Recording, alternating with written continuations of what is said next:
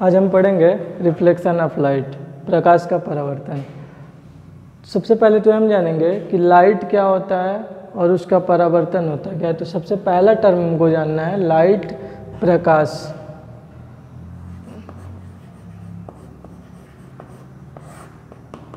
प्रकाश क्या होता है?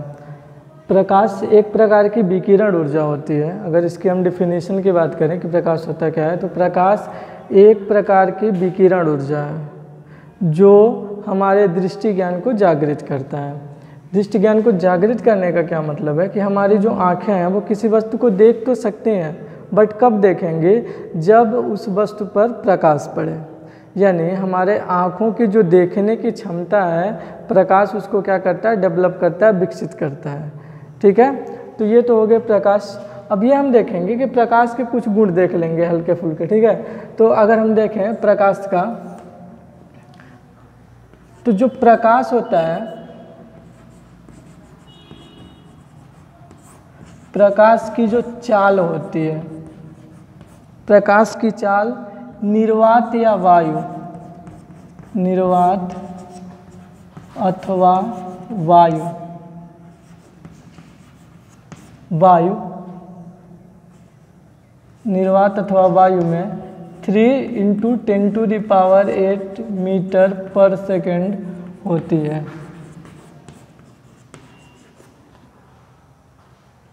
प्रकाश की जो चाल होती है, निर्वात में कितना होता है? Three into ten to the power eight metre per second अब जो देखिए जब दूसरा है, दूसरा में क्या है कि जो प्रकाश होता है हमारा, वो जो होता है, एक विद्युत चुंबकीय तरंग होता है।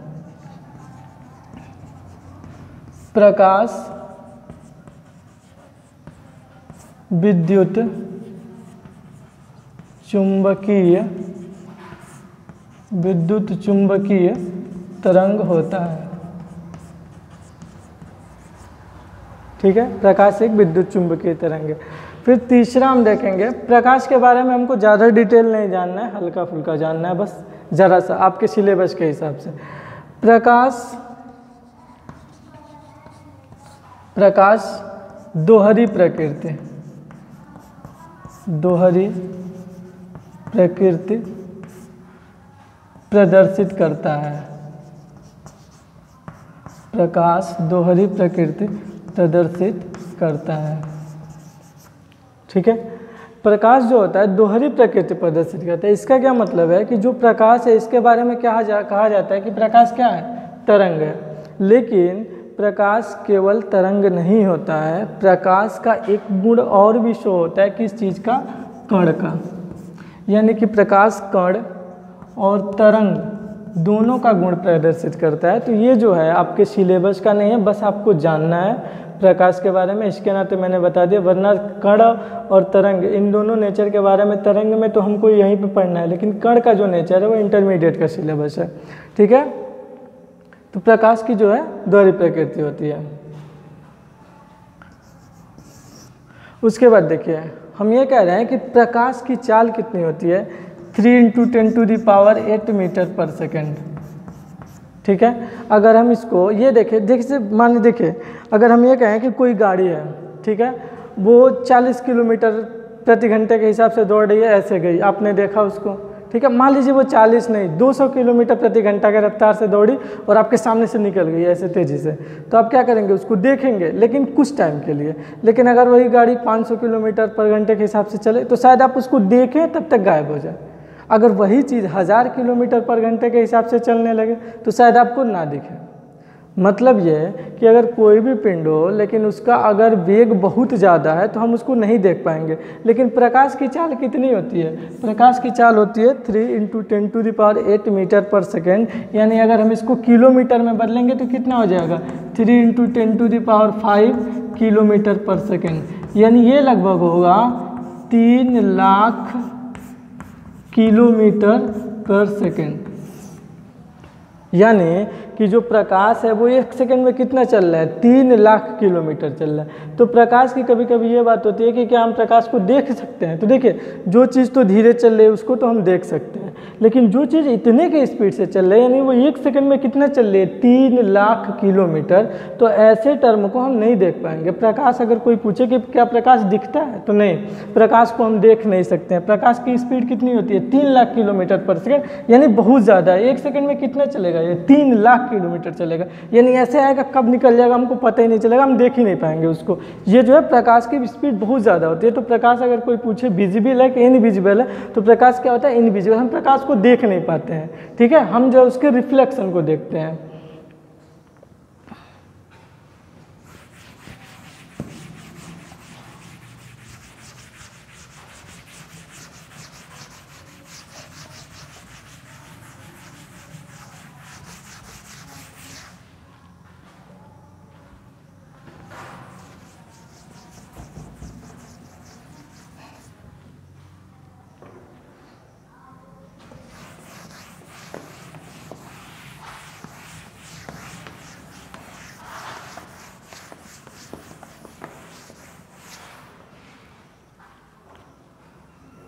अब हमको पढ़ना है।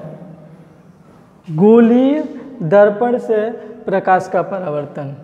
सबसे पहले तो हम ये जानेंगे कि परावर्तन होता क्या है। परावर्तन टर्म को हम जानेंगे पहले।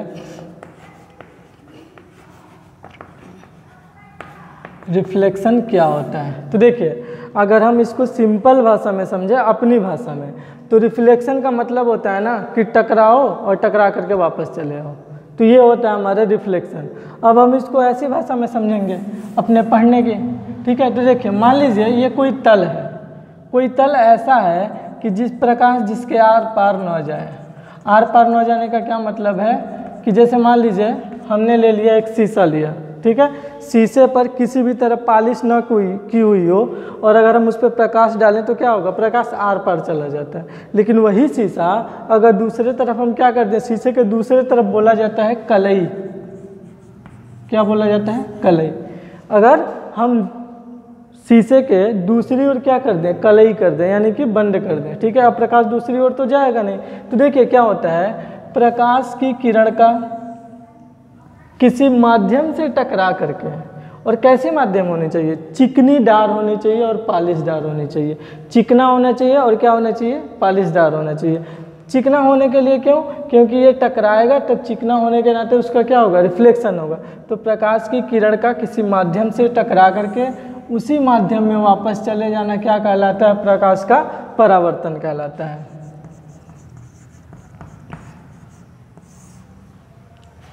ठीक है? जो किरण गिरती है, हम इसको क्या बोलेंगे? आपतित किरण।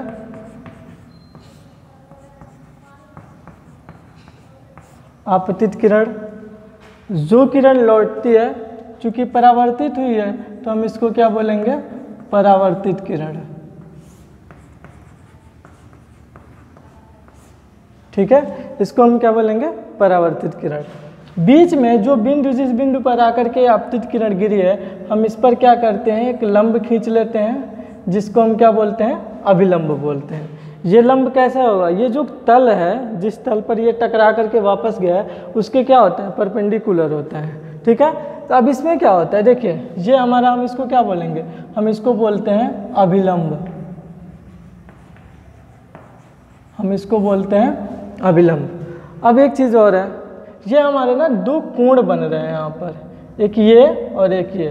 ठीक है? एक अभिलंब और आपतित किरण के मध्य और एक जो है अभिलंब और परावर्तित किरण के मध्य में। तो जो आपतित किरण है और अभिलंब है, इसके बीच के कोण को हम प्रदर्शित करते हैं आई से और इसको हम क्या बोलते हैं? आपतन कोण। इसको हम क्या बोलते हैं? आपतन कोण। ये हमारे जो है परावर्तित किरण है और ये हमारा क्या है अभिलंब है इसको हम प्रदर्शित करते हैं आर से, और इसको हम क्या बोलते हैं? परावर्तन कोण।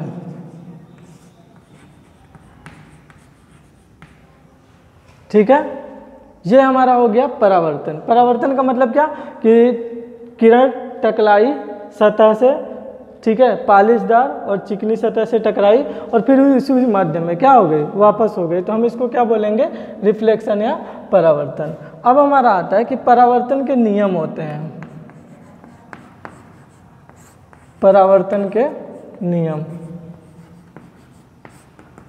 देखिए रिफ्लेक्शन के दो रूल होते हैं। पहला क्या होता है? पहला रूल हमारा होता है, देखिए क्या क्या चीज़। आपतित किरण अभिलंब और परावर्तित किरण। तीनों एक ही तल में होते हैं। इनको हम क्या कहेंगे? आपतित किरण आपतित किरण अभिलंब तथा परावर्तित किरण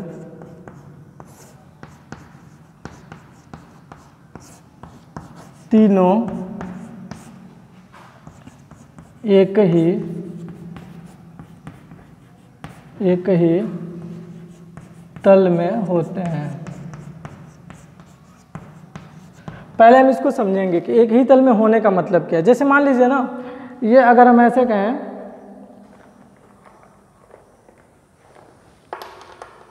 ये हमारे मान लीजिए, ये क्या है हमारी आपतित किरण? ये तीनों ऐसा है, ठीक है? ये क्या है हमारी आपतित किरण? ये क्या है? अभिलंब और ये क्या है? परावर्तित किरण। अगर हम तीनों को कहें एक ही तल में होने का क्या मतलब? कि देखिए, ये तीनों ना हमेशा ऐसे होना चाहिए। जैसे मैं ये कहूँ, एक तल में होने का मतलब ऐसे। मतलब कि तीनों एक सीध में हो, ठीक है? ये ना कि एक, दो ऐसे हैं, एक ऐसा हो जाए। ऐसा नहीं होना चाहिए, ठीक है? तो तीनों क्या होंगे? एक ही तल में होंगे। देखिए, ये देखिए, आपतित किरण अभिलंब और ये क्या है? परावर्तित किरण ये तीनों क्या होने चाहिए? हमेशा एक तल में होने चाहिए। ये नहीं कि एक इधर गया है और दूसरा इधर गया है। तो ये क्या होगा? ऐसा नियम नहीं होगा, ठीक है? नियम हमारा क्या है कि आपतित किरण ये तीनों क्या होने चाहिए? एक तल में होने चाहिए। दूसरा नियम क्या कहता है? दूसरा नियम देखिए।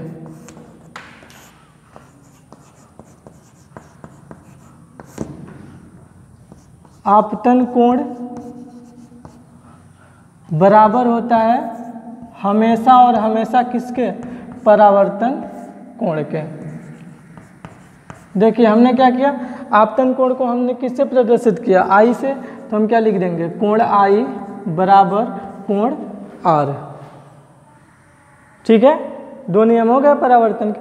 अब हमने तो जाना अभी परावर्तन। अब हम परावर्तन पढ़ेंगे गोलीय दर्पण से। आप क्या करिएगा? वीडियो को पुश करके और इसको नोट कर लीजिएगा।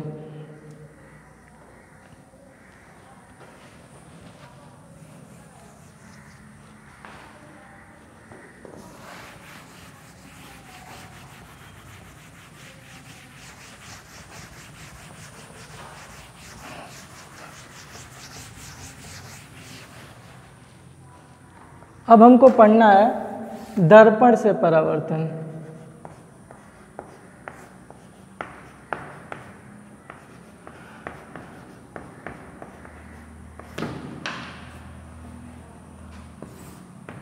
रिफ्लेक्शन बाय मिरर, ठीक है? दर्पण से परावर्तन। तो सबसे पहले हम ये जानेंगे कि दर्पण होता क्या है।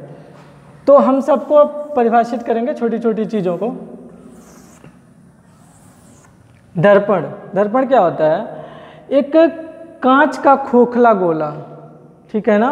किसी कांच के खोखले गोले के, एक भाग के, ठीक है ना? अगर दूसरे और हम क्या कर दें, कलई कर दें तो उसको हम बोलेंगे दर्पण।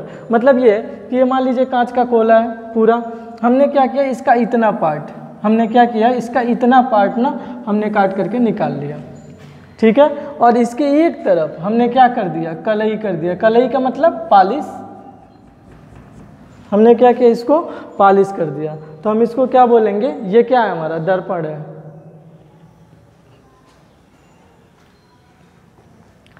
ये हमारा दर्पण हो गया। ठीक है? अब हम कुछ टर्म जानेंगे इसके परिभाषा के बारे में। पहला हमारा क्या है? पहला हम देखेंगे वक्रता केंद्र। पहले हम दर्पण के कुछ परिभाषाएँ जानेंगे। कि वक्रता केंद्र क्या होता है, वक्रता त्रिज्या क्या होती है? देखिए, पहले हम जानेंगे वक्रता केंद्र। वक्रता केंद्र दर्पण का वह बिंदु है जिस खोखले गोले से वह काट करके निकाला गया है, उसका जो केंद्र। मतलब ये, देखिए, समझने की कोशिश करिएगा। ये जो खोखला गोला है, इसका केंद्र तो होगा कहीं ना कहीं पे। तो ये जो दर्पण है, अगर हम इसको इतना निकाल लिए तो ज़ाहिर सी बात है कि ये इसी गोले का पार्ट है। तो जहाँ पर इसका केंद्र होगा, वही इस दर्पण का क्या होगा? वक्रता केंद्र होगा। यानी कि किसी दर्पण का वक्रता केंद्र उस खोखले गोले, ठीक है ना? उस गोले का क्या होता है? केंद्र जो होता है, सेंटर। सेंटर जो होता है, हम उसको क्या बोलेंगे? इस दर्पण का क्या बोलेंगे? वक्रता केंद्र बोलेंगे, ठीक है? अब हम लिखेंगे वक्रता त्रिज्या। वक्रता त्रिज्या, ठीक है? देखिए, वक्रता त्रिज्या क्या होता है? वक्रता त्रिज्या के लिए देखिए, एक पॉइंट और हम जानेंगे इसके पहले। एक हम पॉइंट लेते हैं ध्रुव, उसके बाद हम वक्रता त्रिज्या देखेंगे।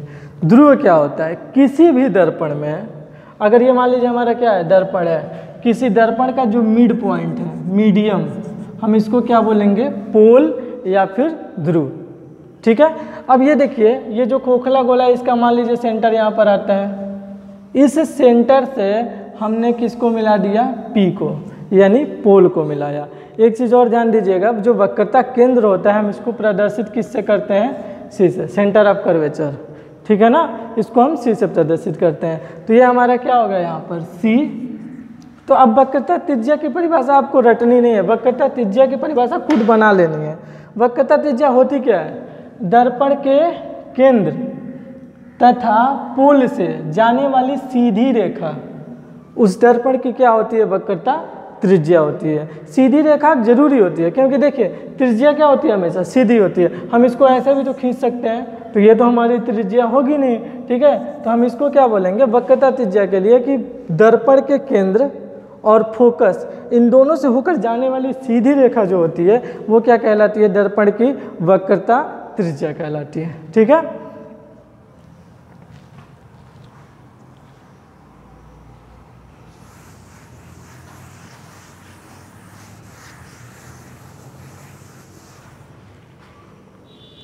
अब क्या होगा?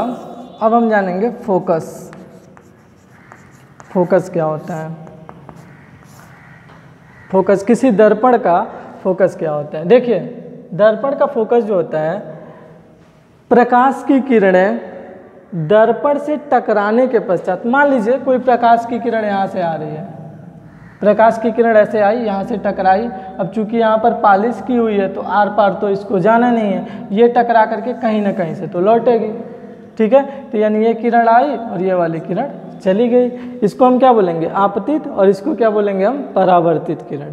तो क्या होगा? यहाँ से टकरा करके जब ये वापस चली गई तो इस बिंदु से गुजर रही है। ध्यान दीजिए, इस वाले बिंदु से गुजर रही है। यानी कि आपतित किरण दर्पण से टकराने के पश्चात जिस बिंदु से गुजरती है, वह उस दर्पण का क्या होता है? फोकस बिंदु होता है। ठीक है? वो क्या होता है? उस दर्पण का फोकस होता है। इसको हम किससे प्रदर्शित करते हैं? एफ़ से। कैपिटल एफ़ से प्रदर्शित करते हैं, ठीक है? और एक टर्म और आपको जानना होगा इसमें कि मान लीजिए ये क्या है हमारा? दर्पण है। तो दर्पण में जो हमारी सी से एफ़ की दूरी होती है, इसी को एफ़ और पी की दूरी के क्या होती है? बराबर होती है। मतलब ये कि वक्रता केंद्र और फोकस के मध्य की जो दूरी होती है, वह फोकस और ध्रुव के मध्य की दूरी के क्या होती है? बराबर होती है। ठीक है? तो यहाँ से हमारा, अब ये देखिए, ये तो मान लीजिए हमारे सभी डिफिनीशंस हो गए। अब हम दर्पण के बारे में कुछ छोटे मोटे फार्मूले पढ़ लेते हैं।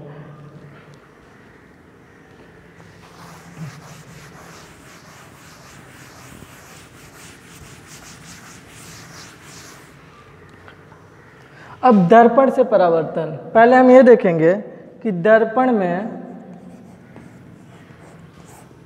दो प्रकार के हमारे पास दर्पण होते हैं। एक होता है अवतल दर्पण।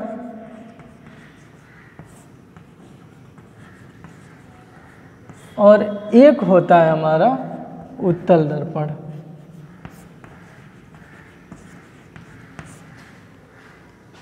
तो सबसे पहले हम पढ़ेंगे अवतल दर्पण।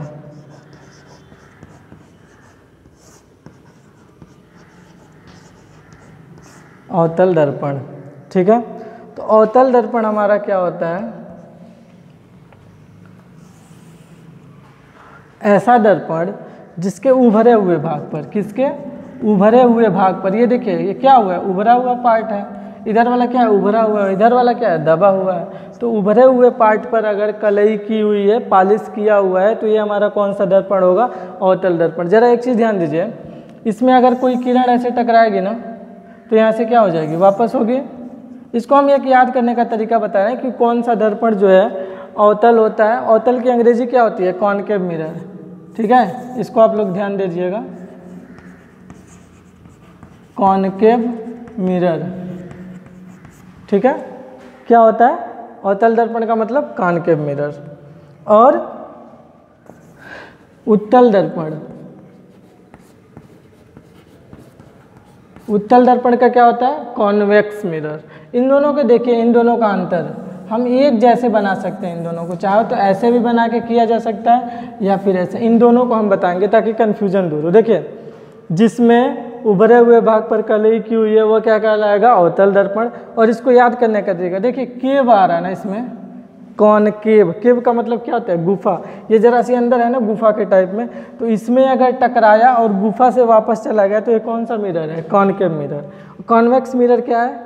जिसके दबे हुए पार्ट पर कलई की हुई। अब देखिए, इसको दोनों तरीकों से तो ये दबा हुआ पार्ट है ना, हमने इस पर क्या किया? कलई कर दिया, पॉलिश कर दिया। इसको यहाँ पर भी हम कर सकते हैं, ध्यान दीजिएगा, दोनों में। दोनों में देखिए, दबे हुए पार्ट पर कलई किया हुआ है। तो इसके नाते ये दोनों कौन से मिरर होंगे? हमारे उत्तल दर्पण होंगे, कॉन्वेक्स मिरर होंगे, ये वाले। ठीक है? इस पर भी देखिए, किरण यहाँ पर आएगी, टकरा करके क्या होगी? किरण यहाँ पे आएगी, टकरा करके क्या होगी? वापस चली जाएगी। ठीक है? तो ये हमारे कौन से दर्पण हो गए? अवतल दर्पण और उत्तल दर्पण। अब पहला हम जो पढ़ेंगे, वो पढ़ेंगे अवतल दर्पण से परावर्तन।